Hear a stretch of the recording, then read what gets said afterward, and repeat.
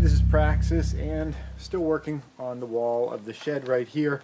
Uh, got most of, well, I don't know, two-thirds of this wall done. And I'm starting to work on some boards on the other side because uh, I'm just trying to optimize, you know, the use of the boards that I have here.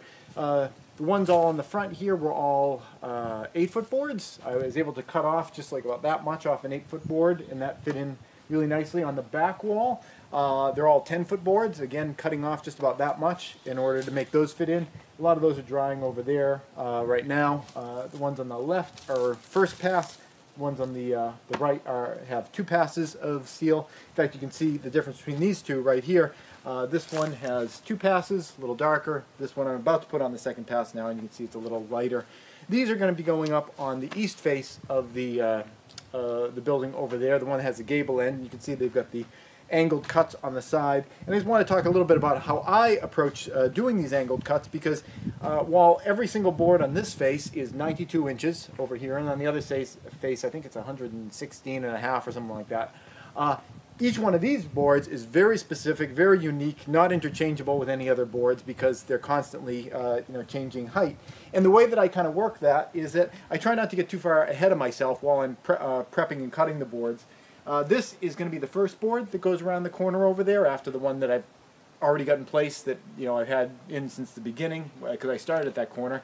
And this is going to be the second board that goes after that.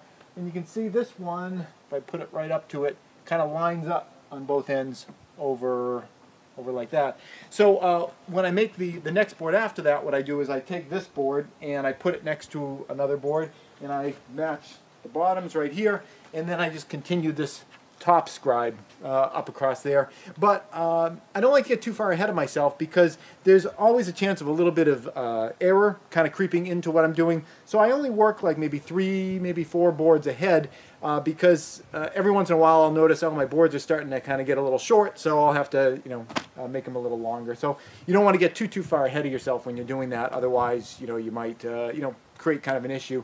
And I think you can see a little bit of that happening right over here little bit of a correction. Uh, I was starting from, as these were going, I, I, was starting from that side, and as they were coming down, you can see there's a little bit of a gap beginning right over here.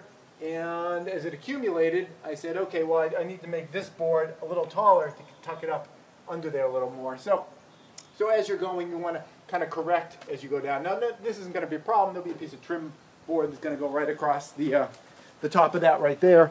But it's an illustration of what you want to try to avoid, which is if you get too far ahead of yourself, you know, you could be like six inches off by the time you get to the end. So, so that's what I'm doing. Uh, River and Amber were both helping me this morning. It was actually hard for me to keep up by, uh, I was putting boards up and they were kind of uh, stealing boards. They're taking a bit of a break right now and I'm using the opportunity to try to get back ahead of them. That's it. Thanks for watching.